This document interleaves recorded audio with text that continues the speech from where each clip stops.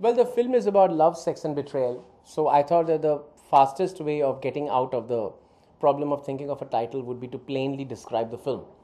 And the film is about love, sex, and betrayal, and how it affects our lives and uh, how we use it in our lives to get something. It's three different stories. One story is called Super Hit Pyar.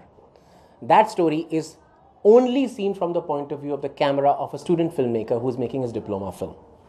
And while making his film, he's falling in love with the heroine. But his love story and the love story that he's shooting in the film, you can only see through his camera. There is nothing else. I haven't placed a camera to shoot his life. It's his camera, whatever he's shooting, that is what we are seeing. The second story is called Paap Ki Dukaan. In a shop, in front of five security cameras, you are seeing a love affair happening between two people. And the result of that love affair in front of the security cameras. But nothing outside of the security cameras is shown to you. Whatever the security cameras record, that is the film.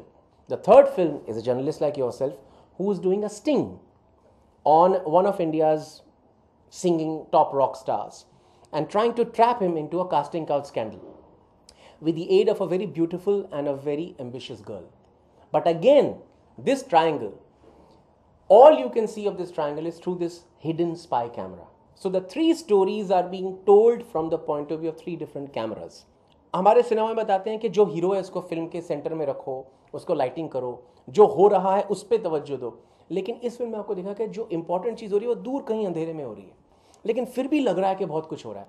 और आपको ऐसा लग रहा है कि अरे यार, ये जो फुटेज मैं देख रहा हूँ, ये मुझे देखना नहीं चाहिए था, ये कोई सीक्रेट फुटेज है।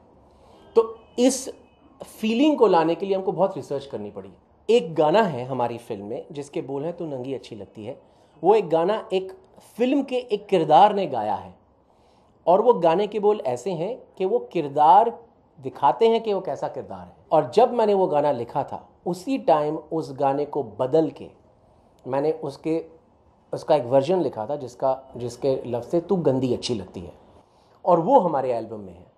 क्योंकि हम एक किरदार को दिखाने के लिए अपनी एडल्ट फ़िल्म में कुछ लफ्ज़ात यूज़ कर सकते हैं, लेकिन मैं फ़िल्म को बेचने के लिए उन लफ्ज़ों के साथ अपनी एल्बम में वो गाना नहीं रखना चाहता। मेरी कोई भी फ़िल्म होगी, उसमें सोशल इशू के बिना मेरे ख्याल से कोई भी फ़िल्म नहीं बन सकती, क्योंकि जैसे हम इंसान अपने समाज के एक हिस्सा हैं, वैसे हमारी फ़िल्में भी समाज के हिस्से हैं। मैं एक भी ऐसी फ़िल्म नहीं जानता हूँ जिसमें समाज की छवि नहीं दिखती हो, चाहे कम हो या बुरी हो या अच्छी हो या ख़राब हो, पता नहीं। लेकिन समाज की छवि दिखती है, इसलिए मेरी मेरी फ़िल्मों में समाज की छवि दिखेगी। मेरे को ऐसी फ़िल्म बनाने का मज़ा नहीं आता कि आपने दो घंटे देखा और फिर आप चलो चलो ठीक है, पैसा वसूल, घर जाओ, भूल जाओ। मुझे ऐसी फ़िल्म बनाने में मज़ा आता है कि आपने दो घंटे देखी, लेकिन अगले दो महीने, तीन महीना या एक साल या कुछ दिन, आपके दिमाग में उस फ़िल्म का विचार कौन था? और उस फ़िल्म में जिस सच्चाई को या जिस इशू को दिखाया गया था, वो इशू और वो सच्चाई भी कौन थी आपके दिमाग में?